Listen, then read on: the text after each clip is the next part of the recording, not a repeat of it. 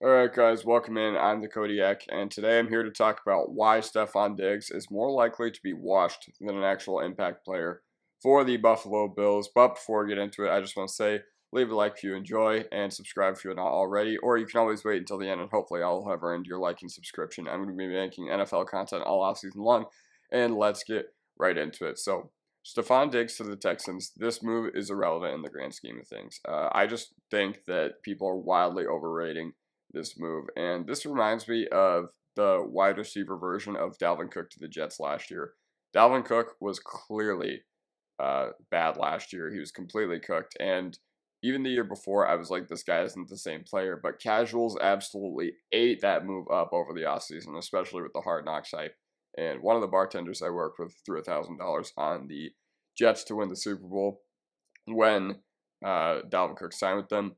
And I'm getting a lot of the same vibes because I'm not excited about this move. I don't know how, if you're a Texans fan, you could be excited about this move either.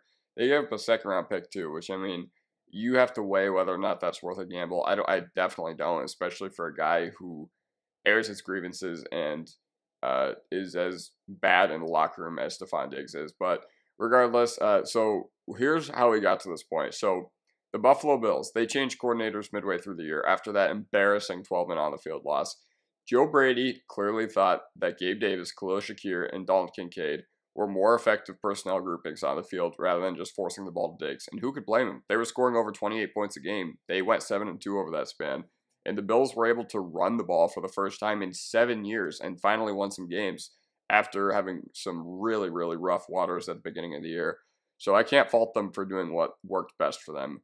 They never challenged the immediate boundary. So for a guy that did very well on the sidelines, when you eliminate those looks, uh, you're taking a lot out of his game. And he also didn't get a lot of red zone opportunity because when you are Josh Allen, you are the red zone weapon.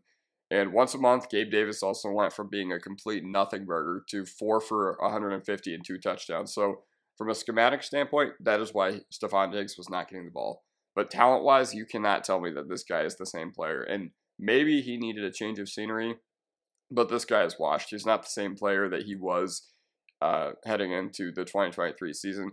He had a good first half of the year, and yes, I know he had that injury, but uh, he also mentally checked out. And I'm not excited about this move because even if he still has it physically, with a guy that airs his grievances so publicly, if you're a Texans fan, how can you be pumped about a guy who cries when he doesn't get the ball? And now he has to share the field with Nico Collins and Tank Dell. And Shakir outperformed Diggs' production in the second half of the year with the same amount of targets. So let's just put this in perspective. Diggs is not getting any younger. He's 30. Once these guys, these wide receivers, get to 30 or 31, they tend to drop off quick. Especially uh, the route running like seven that Diggs is. He is probably going to age better than like the typical wide receiver, but it's crazy to see how many wide receivers fall off around 31 years old. And there's a few exceptions, but will Diggs be an exception? Uh, for me, it doesn't look like it. So even if he is washed, uh, he mentally checked out. He showed very little interest in the entire second half of the season. So I'm not sure if there's an injury that we don't know about or he just threw a fit because things weren't going his way. But he misplayed a perfect deep ball in the fourth quarter from Josh Allen in the AFC champ or in the AFC divisional round against the Chiefs this year and he didn't even attempt to go for another that was within arm's length. So he just didn't look like what uh, we had expected from him, and they went seven and two after not having to use him.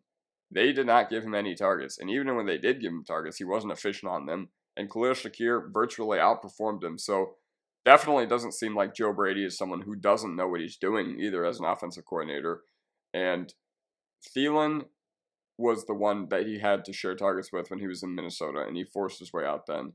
And I don't think it was Thielen that necessarily pissed him off, but he forced out after they switched offensive coordinators to prioritize the running game with Dalvin Cook.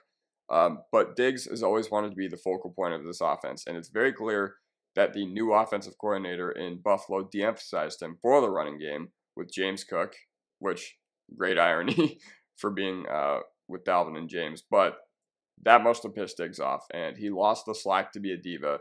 So now we'll see how it turns out. He needs to go out and dominate and back up his talk over the past few years, or he'll fade pretty fast. Because when you're getting 170 targets a year and you're still not happy with your situation, like you do you, buddy. But let's just talk about this for Houston. The question is not is he going to be the second, first, second, or third option. It's is he going to be the fourth or fifth fifth option because he's going to be the fourth option at very best, and that's not contingent on Collins or Dell or Schultz because both those guys, all three of those guys, I think are pretty comfortably better than Diggs right now. And depending on how quickly Dell can come back from his fibula, he'll outshine Diggs and outsnap him and out target him next year. But whether he's the fourth or fifth option depends on how the Texans want to deploy, uh, how they want to deploy their running backs in the receiving game, and how heavily they want to utilize guys like Mixon. And it's great getting Stroud new weapons, and Slowik is about to start cooking. But I'm not even remotely excited about Stefon Diggs to the Texans. There was a reason that Buffalo, having nothing in their wide receiver room besides Khalil Shakir and Curtis Samuel and Mack Hollins, plus the 28th overall pick in this year's draft, there was a reason they traded him. And it's not because he was an asset to that team. If he was worth anything to that team and they weren't willing to take on a massive dead cap hit, they would have kept him. And yeah, he probably forced his way out. He probably forced his hand. He probably went up to the Bills ownership and was like, yeah, I'm not doing this anymore. So this basically sums up how I feel about Stefon Diggs to the Texans. Like if you enjoy it, and I'll see you guys next time. Peace.